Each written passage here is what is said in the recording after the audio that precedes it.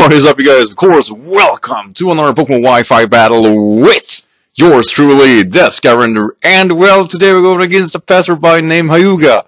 And there is a reason I uploaded this battle because we got a freaking Mega Rayquaza here. Yes, Mega Rayquaza. And of course, we got, you know, Kyogre, we got Deoxys here, and um, we have Mewtwo too. Uh, that, that is just splendid, isn't it? And of course, uh, the giveaway, um, Metagross, and his probably in-game Sceptile. So with all that in mind, guys, I feel getting that right off the bat. It is obviously not the most serious of battles, but look at the books I'm using. We got the same type of previous here with both Bronzong with Heatproof, Steelix, Mega Pidgeot, Dragalge, Physical, Choice Bandit, freaking Rodent, Dragonade, Dragon Slayer, I was gonna say, Dedenne, and uh, Assault Vest uh, Malamar. Uh, and right off the bat here, I mean, I had two choices. Either this was a very, very good player, or this was just an in-game team. I was lucky; it was an in-game team. I was actually going against this guy while I was breeding. I wanted a battle top load, uh, and um, I'll say it was definitely an interesting one. And it's a reason I'm going to showcase it, even though it's just a passerby and not a person that I can relate to or uh, feature by any means necessary. Sadly. Uh, so anyway, I will start with Bronzong. I need to get rocks up because Mega Rayquaza. Up. And other than that, I don't care what he starts with, I just want to live. So anyway, let's do it.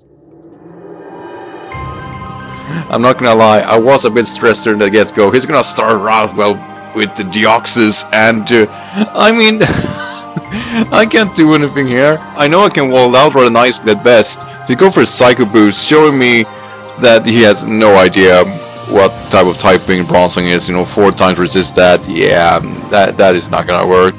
Uh, so I go for Stealth Rocks, and after this I'll actually just go for an Iron Head, because I don't expect him to go for a physical move here, and to go right away for another Psycho Boost, and now it's just getting, you know, I get know, more HP back than he's actually doing, so...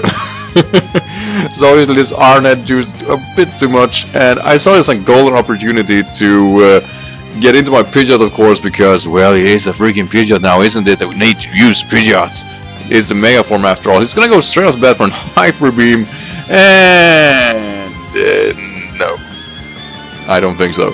So anyway, I'm just gonna Mega Ball, going for the Ominous Wind, and the reason I have Ominous Wind is because I do want the boost. I have the 10% chance, like Ancient Power, to get an overall boost, which could be incredible for Pidgeot, consider it's lacking in move pool, and I mean lacking with a big L. Though sadly I don't get it, and here is Rayquaza, uh, and I was like, oh no now I'm really going down. There is no way in hell I can deal with this. Even though he probably is unvested, it is still a major threat. So I was praying to higher gods, Pidgeot, just do your thing, just hurt it, hurt as much as you can. And I go for that Hurricane, and even though I don't have any attack boosts after the Ominous Wind, I will score a crit here and destroy him. So yeah, the Jesus Bird, do the things it should do and deal with the legendaries of legendaries, the one that created the anything goes here. So Montipune is not the only one who killed a Mega Rayquaza with a Pidgeot. I'm second to it. So anyway, of course, this thing is here, and um, I really didn't want to take an ice with this guy, and uh, I just got into the Dragalge. I just thought I might get the chance to get some Toxic Spikes up. So we go for the Origin Pulse, which obviously, even though it is water boosted, still does me nada. I mean, that is not a lot actually. So let's go for Ice Beam here, and that is roughly 50%-ish. So I know I can take another one if uh, I go for Protect here next turn. So yes, I'm being extremely stally, but at the same time I really felt that, you know, I might as well get some badly poisoned there so I can actually finish the game a little bit easier. Um, because he still has Mewtwo and Mega, Mega Metagross, which obviously isn't affected by poison. But sadly, after my after my setup here, he scores a freeze on me. So I was like, really? Really? We're doing this? Alright. I'm okay with this. I'm gonna switch back into my Bronzong here because I just want to get this thing toxic. I really had no reason not to. And it goes for Waterfall.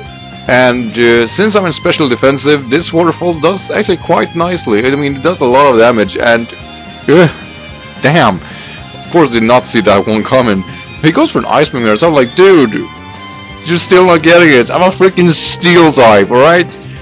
But anyway, go for a Toxic, and uh, after this, I'm pretty much just going to sag off my Dragalge for the very reason of... can't really do anything, obviously. And, um, yeah that was definitely my only like idea. I just want to set in Dedenne here and hope that he, uh, in one fashion or another, am able to uh, take out in Kyogre. Uh, and you know this battle obviously is not. Um, it, it is very very unserious to say the least. So anyway, Across the choice bandit Dedenne, the Dragon Killer, the defeater of legendaries is here, and go for that wild charge. Boom! It is freaking enough to kill a Kyogre. I never seen anything like it. I mean, first he kills off the Garchomp, and now he's back again, killing the legendaries like they were nothing. Actros, my god, are you awesome. So here's some Mewtwo, and I really didn't feel like switching out. I was just like, alright, um, probably, you know, getting a Psychic here, and I will be okay with that. But it goes for an Aura Sphere, which, first of all, is resisted. Uh, it still does a fair damage, I guess, but the wild charge will not prove to be enough, so I was thinking, alright, he must go for a psychic this time, and uh, I have no chance, of course, of believing that, so I'm just gonna switch out to my Malamar, because, well, why not? I was so sure I was gonna resist that, but no, he goes for an energy ball. And I was like, dude, no, you did not just do that. So anyway, I'm just gonna go for a superpower. He's going for an aura sphere here, and like I'm still like, you need to do something better. that is not gonna cut it. So even though I actually don't kill it with a superpower, the Toxic will be more than enough. I told you the Toxic Spike would work. told you.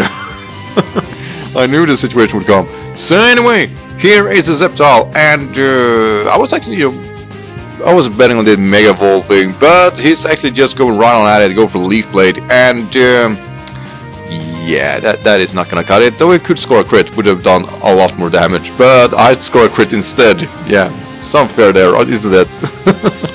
and take out that Sceptile. And now we're going to what I will call the most hysterical moment ever, and I can't stress it enough. He's gonna go for a Zen Headbutt, which obviously isn't gonna affect me, and I will go for a knockoff, scoring first off a crit, but that's not the fun part. I knock off a freaking Hyper Potion I'm not kidding. He is carrying an hyper potion. I was like, oh, really? How is that gonna help you out? But yeah. Obviously, like I said, it's not the most serious battle, and I had a lot of fun, of course, with it. And I, I killed a Mega Rayquaza. How cool is that? So yeah, I really hope you guys enjoy this battle, of course. And really, you know, I like this kind of passerbys, not because uh, my team is working, you know, at its peak because of my opponent's unawareness of the team build-up, obviously. But this is actually where you know when you go against players that are new to Pokemon and you know they're using the strongest of strongest pokes. I really believe, at least for my own mindset, that this is the way to get into the metagame. Using the strongest pokes, you get comfortable in predicting and stuff like that. I mean, these players obviously is not going to get that from um, using the lowest of lowest tier because of there are good enough players that could cope with that, and there are stronger players using stronger Pokemons who could decimate them in seconds. So I think this is a good way to get into it, I really do. I always had a lot of fun here because of the Dedenne obviously working, uh, Pidgeot killing the Mega Rayquaza, I mean that that is just, it is a legendary status on that. And um, yeah, just basically Malamar yet again just coming in, finish off the game. I don't know why it is with Assault Vest Malamar, but it's just so good. I know we got U-turn issue, but who the hell cares? It is packing a punch. So anyway guys, like I said, I hope you enjoyed this video. Make sure to leave a like, and if you're new to my channel, make sure to subscribe. And with that in mind guys, remember, the sky is the limit. So have a good day and take care, alright? Bye.